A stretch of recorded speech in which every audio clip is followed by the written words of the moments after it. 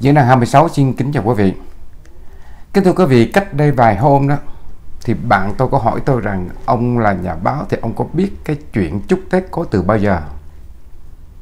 Rồi nó xuất phát từ đâu và vì sao là phải chúc Tết? Nói thật với quý vị đó, khi nghe bạn tôi hỏi như vậy thì tôi ngớ người ra.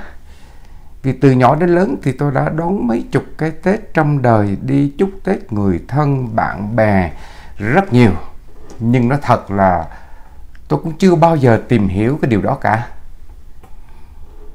Thưa quý vị tết nguyên đáng đó hay còn gọi là tết cả tết ta tết âm lịch tết cổ truyền. Hay nó rút gọn là là tết nói chung là tết thưa quý vị. Cái chữ tết á, là cái cách đọc theo cái âm hán việt của cái chữ tiết có nghĩa là thay vì người ta đọc chữ tiết thì người ta là đọc cái chữ tết. Đó, đọc theo cái âm hán việt là như vậy. Rồi là hai cái chữ nguyên đáng đó thì gốc của chữ hán nó, nó có nghĩa như sau. Cái chữ nguyên đó thưa quý vị chữ nguyên thì có nghĩa là sự khởi đầu sự khởi đầu. Hay thì nó cũng có cái nghĩa là cái sự sơ khai sự sa khai. Còn cái chữ đáng á, theo từ điển Hán Việt á, thưa quý vị thì nó có nghĩa là buổi sáng sớm. Có nghĩa là buổi sáng sớm chữ đáng là như vậy. Như vậy thì cái nguyên đáng nguyên đáng có nghĩa là một cái sự khởi đầu hay cũng có thể hiểu đó là một một cái sự sơ khai. À, và chúng ta nói là Tết Nguyên đáng thì uh, cũng có thể hiểu rằng là cái sự khởi đầu hay là một cái sự sơ khai cho một cái năm mới, cho một năm mới, năm âm lịch đấy thưa quý vị. Với người Việt của chúng ta đó, thì Tết Nguyên Đán không chỉ là cái khoảng thời gian chuyển giao giữa năm cũ và năm mới âm lịch, mà nó còn chứa đựng nhiều cái ý nghĩa tâm linh về văn hóa dân tộc nữa. Và đây là cái khoảng thời gian mà trời đất có cái sự giao hòa và con người thì trở nên là gần gũi với là thần linh. Gần gũi với thần linh. Ngày xưa thưa quý vị, ngày xưa thì tết nguyên đáng là cái dịp để người nông dân bày tỏ cái lòng thành kính của mình đến các vị thần linh như là thần đất này, thần mưa này, thần sấm, thần nước, thần mặt trời, vân vân. Ừ và họ cầu nguyện cho một năm được à, mưa thuận gió hòa mùa màng được bội thu. Ngày đó là cái ngày mà để cho mọi người gác lại một cái chuyện mọi cái chuyện không hay trong cái năm cũ. Và không may mắn trong cái năm cũ để rồi bày tỏ cái niềm tin yêu cái niềm hy vọng vào một cái năm mới an lành sung túc và thuận lợi thuận lợi hơn. Ba ngày Tết đó, thưa quý vị cũng là ba cái ngày mà cái sự giao cảm giữa những người ở cõi dương với cõi âm. Đó là cái ngày mà coi như là cái sự giao cảm giữa cái người ở cõi dương và cõi âm. Rồi là cái ngày để tỏ lòng hiếu kính với ông bà tổ tiên và những người thân trong gia đình mà không còn trên trần thế này nữa đó để tỏ lòng hiếu kính. Cho nên là mới có cái chuyện là cúng rước ông bà tổ tiên về ăn tết với với gia đình. Và rồi sau đó, sau tết thì thường là ngày mùng 3 tết thưa quý vị thì gia đình lại cúng đưa ông bà tổ tiên về lại với cõi với cõi ông. cho nên nó là cái ngày tết là cái ngày thiêng liêng lắm thưa quý vị ngày rất thiêng liêng. Cũng chính vì cái quan niệm đó đó cho nên vào cái dịp Tết thì hầu như, mà tôi nói là có lẽ là tất cả đó, thì nhà nào cũng tất bật dọn dẹp, sắm sửa, rồi trang hoàng nhà cửa cho thật thật đẹp đẽ để đón ông bà tổ tiên về vui Tết. Người khá giả thì họ trang trí, trang hoàng, lộng lẫy, còn cái người mà không khá giả hay nghèo một chút thì người ta cũng dọn dẹp nhà cửa đâu vào đó gọn gàng, sạch sẽ và thưa quý vị cũng từ cái quan niệm đó đó từ cái suy nghĩ đó cho nên là mỗi khi mà Tết đến đó, dù làm bất cứ nghề gì hay là dù ở bất cứ đâu thì con người ta cũng đều mong muốn là được trở về sum họp dưới mái ấm của gia đình rồi cùng nhau thắp nén hương tưởng nhớ đến ông bà tổ tiên. Tạ ơn ông bà tổ tiên đã phù hộ gia đình hay là dòng họ đó trong suốt một năm qua. Và quan trọng hơn là để cho con cháu đời sau này biết được cái gốc tích biết được cái cội nguồn của mình. Bởi vậy cho nên là cái chuyện về quê ăn Tết, thưa quý vị, về quê ăn Tết thì được coi là một cái cuộc hành hương về với cội nguồn. Về làm gì? Về để bày tỏ cái tấm lòng thành kính biết ơn đối với là đấng sinh thành ra mình và đối với tổ tiên ông bà. Hay người ta gọi đó là ngày xung vầy ngày sum vầy, ngày đoàn viên, thưa quý vị. Cho nên là nhiều năm qua đó, thì không chỉ người mà đi làm ăn xa ở trong nước, mà bà con ta và con Việt kiều ta ở khắp nơi trên thế giới đó, thì cũng đều rạo rực về quê để mà vui Tết, để mà đón xuân. Và điều đó nó trở thành cái nếp sống, cái truyền thống tốt đẹp, mà tôi nghĩ rằng là nó không thể phôi phai được cái hay của Tết á, thưa quý vị là ai ai cũng vui vẻ hạnh phúc.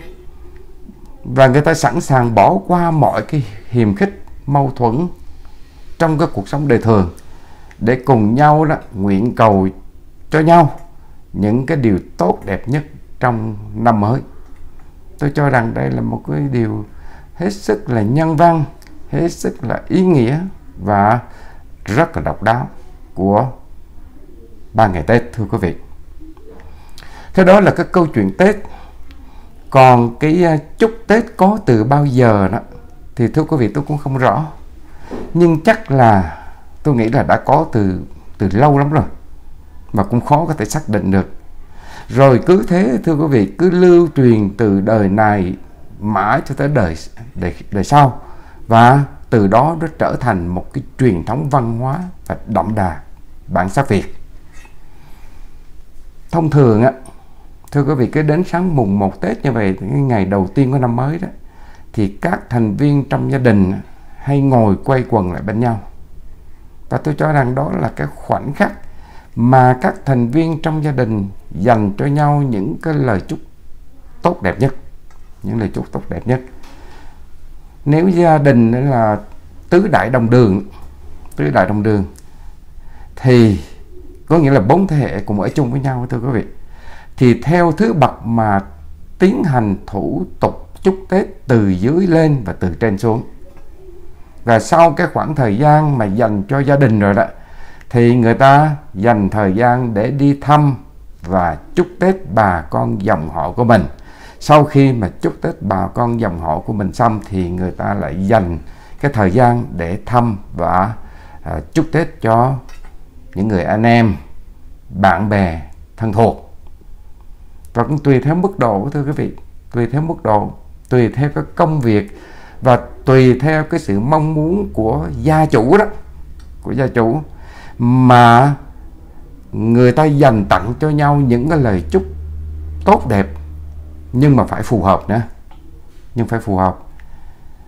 Cái điều chung nhất á, của tất cả các cái lời chúc đó là gì ạ? Đó là sức khỏe này đó là bình an, đó là hạnh phúc. Sáu từ thôi, thưa quý vị, sáu từ thôi. Nhưng cái sức khỏe, bình an và hạnh phúc nó có cái mối quan hệ biện chứng biện chứng với nhau. Bất cứ một cái lời chúc tết nào thì cũng không có, không thể không có được sức khỏe, bình an và hạnh phúc được. Có lẽ không riêng gì ở người Việt Nam của chúng ta, mà cả thế giới này, thưa quý vị thì ai ai cũng đều thượng tôn sức khỏe cả. Ở phương Tây đó thì người ta quan niệm rằng sức khỏe tốt này và trí tuệ minh mẫn là hai cái điều hạnh phúc nhất của cuộc đời con người. Hai điều hạnh phúc nhất của cuộc đời con người. Có một triết gia người Mỹ đó, thì ông ta cũng nói rằng à, tài sản đầu tiên của con người chính là sức khỏe. Chính là sức khỏe còn người Việt Nam ta thì thì cũng có câu rằng sức khỏe thì quý hơn vàng. Trong thời đại ngày nay đó tuy là tuổi thọ của con người đã được nâng lên rất nhiều so với trước được nâng lên rất nhiều so với trước rồi. Tuổi thọ trước đây thì khoảng 45, 47, năm 50, 53, 55 nhưng bây giờ thì thưa quý vị ở người Việt Nam của chúng ta tuổi thọ bình quân là đã 73 tuổi thế nhưng mà song hành với cái sự tăng cái tuổi thọ này lên đó, thì là gì à? Song hành với đó là những cơn đại dịch chết người mang tính toàn cầu. Mà ví dụ như là cái dịch bệnh Covid-19 vừa rồi chẳng hạn. Hay là cái tình trạng chết vô cớ. Chết vô cớ nghĩa là không khi chết mà người ta không biết là chết vì cái gì. Chết vô cớ. Rồi là chết trẻ cũng đang là có những cái dấu hiệu gia tăng. Và nhất là khi mà cái chỉ số ô nhiễm môi trường, khí thải nhà kính luôn gia tăng, nguy hại đến cái thể chất của con người. Thì sức khỏe là cái thứ vô cùng quý giá mà chúng ta không thể mua nó bằng bất cứ một thứ vật chất gì hay là mua nó bằng bất cứ một cái loại mệnh giá nào. Sức khỏe quý chúng ta nói rằng là sức khỏe quý hơn vàng. Sức khỏe quý hơn vàng. Bây giờ thì kim cương nhưng mà sức khỏe là còn quý hơn cả kim cương, thưa quý vị. Không thể có cái gì là mua được. Dân gian ta cũng có cái câu tức là gì ạ? Là có sức khỏe là có tất cả. Chính vì vậy mà chúc nhau sức khỏe đầu năm là cái lời chúc đầy tính nhân văn, thiện tâm của người Việt Nam mỗi khi Tết đến xuân về thế sau cái lời chúc sức khỏe đó là tới cái lời cầu chúc cho cái cuộc sống được bình an.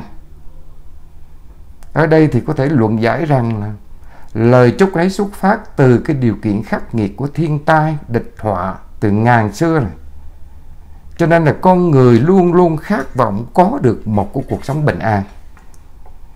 Mặt khác thưa quý vị đất nước ta từ khi khai thiên lập quốc đó, thì đã trải qua hàng ngàn năm chinh chiến với biết bao thế hệ phải gồng mình trong gươm đao bảo đạn biệt ly chết chóc. Cho nên là người dân Việt Nam của chúng ta thì luôn khát vọng hòa bình luôn khát vọng có một cái cuộc sống an lành. Ngày nay tuy là chiến tranh đã lùi xa rồi mọi người thì được sống trong cái à, sống trong cái an lạc thái bình thế nhưng thế giới thì vẫn chưa yên, thưa quý vị. Cuộc sống thì lại chịu nhiều tác động tiêu cực ở ngoài xã hội nữa. Cho nên bình an trong cái cuộc sống vẫn là điều mà mỗi người dân Việt Nam của chúng ta cầu mong. Cho nên chúc nhau bình an cũng là vì lẽ đó, thưa quý vị. Cũng như bình an thì hai cái từ hạnh phúc là điều không bao giờ thiếu trong cái lời chúc Tết đầu năm. Có sức khỏe có bình an nhưng mà nếu như mà thiếu hạnh phúc thì cũng chưa có thể trọn vẹn được. Về học thuật thưa quý vị học thuật thì người ta khái niệm rằng hạnh phúc là trạng thái thỏa mãn với cuộc sống là lợi ích được tự giác thông qua các cái cảm giác vui sướng này, thỏa mãn đi lên. Đó là học thuật người ta khái niệm như vậy nó hơi khó hiểu, phức tạp. Thế còn quan niệm trong dân gian đó thì đơn giản hơn nhiều. Người ta quan niệm rằng hạnh phúc thì tùy thuộc vào cái sự nhìn nhận này, tùy thuộc vào cái điều kiện và cái hoàn cảnh của từng người, từng gia đình. Tôi nói ví dụ như là với người nghèo đó, thì hạnh phúc đơn giản thôi, là thoát nghèo người nghèo hạnh phúc là thoát nghèo. Người mà thường xuyên ốm đau bệnh hoạn đó thưa quý vị thì hạnh phúc của người ta là gì? Là được khỏe mạnh. Người cô đơn thì hạnh phúc là không còn trống vắng quạnh hiu nữa. Còn vợ chồng mà, mà cãi nhau đó giận nhau đó thì hạnh phúc là khi hai nửa của nhau lại quyện hòa vào nhau là một. Thế là hạnh phúc và cái này thì thưa quý vị, trong cái cuộc sống đời thường, trong cuộc sống vợ chồng thì tôi tin chắc rằng ai cũng hiểu được cái điều này. Còn cái người đang đói thì sao ạ? À? người đang đói thì hạnh phúc của họ chỉ là những bữa cơm no dạ no lòng thôi. Đang đói mà có được một cái bữa cơm no thì, thưa quý vị, đó là hạnh phúc. Nhưng có lẽ đó, điều chung nhất trong mỗi một gia đình người Việt của chúng ta đó hạnh phúc là gì? Hạnh phúc là vợ chồng thương yêu nhau. Con cái chăm học ngoan hiền. Công việc thì thuận lợi hanh thông, làm đâu được đó. Thu nhập thì đảm bảo cái cuộc sống cho gia đình. Được bạn bè yêu thương quý mến. Rồi cái tinh thần thì thoải mái, lạc quan và yêu đời. Thưa quý vị, hạnh phúc thì đơn giản vậy thôi. Đơn giản vậy thôi nhưng hạnh phúc lại là cái điều hết sức mong manh. Vì sao tôi nói là mong manh à có rồi lại mất mất rồi lại có. Và rất khó có được cái sự vẹn toàn hạnh phúc. Rất khó có được sự vẹn toàn hạnh phúc cả. Cho nên chúc nhau hạnh phúc trong cái ngày mở đầu năm mới là điều mà ai ai cũng vui lòng đón nhận và ai cũng rất thành tâm khi mình chúc cho bạn bè, chúc cho người thân, thậm chí là, thưa quý vị, chúc cho cả những người không quen biết nữa. Kính thưa quý vị, ngày nay đó, điều kiện xã hội đã khác xưa rất nhiều rồi và đời sống thì cũng đã phát triển rất nhiều rồi. Các cái mối quan hệ xã hội thì đã mở rộng và ai cũng muốn gia đình của mình có một cái cuộc sống khá giả, giàu có cho nên không lạ gì khi người ta thêm vào đó những cái lời chúc Tết nào là may mắn, thành đạt, tiền bạc thì dồi dào. Công thành danh toại, phát lộc, phát tài, vạn sự như ý, hoan hỷ, từ vui. Và kính thưa quý vị, tôi không phủ nhận rằng Tết bây giờ người ta ít trực tiếp thăm hỏi nhau như Tết ngày xưa, mà thay vào đó là những cái chuyến du xuân mặc dù vậy thì theo tôi nghĩ cái truyền thống tốt đẹp xưa đó thì vẫn được gìn giữ, lưu truyền bằng cái cách là chúc nhau qua điện thoại này, chúc nhau qua các cái phương tiện thông tin khác. Cũng rất là vui tươi, cũng rất là ý nghĩa, cũng rất là tình người, thưa quý vị. Và hôm nay, thông qua cái chương trình này thì tôi cũng trân trọng gửi đến quý vị khán giả yêu mến của diễn đàn 216 cùng gia đình quý vị lời chúc mừng năm mới Quý Mão 2023 sức khỏe dồi dào, cuộc sống an lành, mọi việc hanh thông thành công mỹ mãn và hạnh phúc thì tràn đầy. Diễn đàn 26 cũng xin chân thành cảm ơn quý vị đã quan tâm theo dõi và đã đồng hành rồi chia sẻ với diễn đàn những niềm vui nỗi buồn, những nghĩ suy trăn trở. Và đặc biệt là cái sự đồng cảm của quý vị đối với diễn đàn trong suốt trong suốt một năm qua. Cảm ơn quý vị rất nhiều. Bây giờ thì diễn đàn xin tạm biệt, chia tay quý vị và xin được hẹn gặp lại quý vị vào những ngày sau Tết. Kính chào quý vị.